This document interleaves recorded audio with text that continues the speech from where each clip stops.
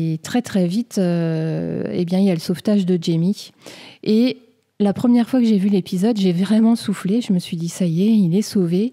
Euh, et enfin, après, j'ai été cueillie, mais vraiment euh, dans mes émotions. Je m'attendais vraiment pas du tout à, ce qu'on retourne avec Jamie dans le cachot par ses flashbacks.